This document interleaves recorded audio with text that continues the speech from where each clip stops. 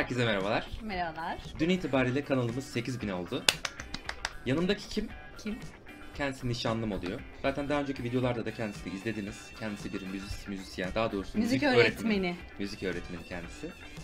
Kendisi çok fazla enstrüman çalmakta. Tanış, dur, dur. Tanışma hikayemizi sonra çok ayrıntılı şekilde sizlere sonra anlatacağız. Niye bu videoyu çekiyoruz? Hem teşekkür videosu 8000 oldu. Hem de biz e, inşallah Temmuz sonunda evleneceğiz ve artık kayıtlara yeni bir ortamda, yeni evde farklı ekipmanlarla yapacağız. Ve bu süreçte tabii ki Melisa da bana eşlik edecek. Hem o güzel sesiyle hem de enstrümanlarıyla. Bir şey diyecek misin Can? Herkese ne bileyim ne diyeyim canım. Hep benimle dalga geçiyor herkese kolay gelsin demem.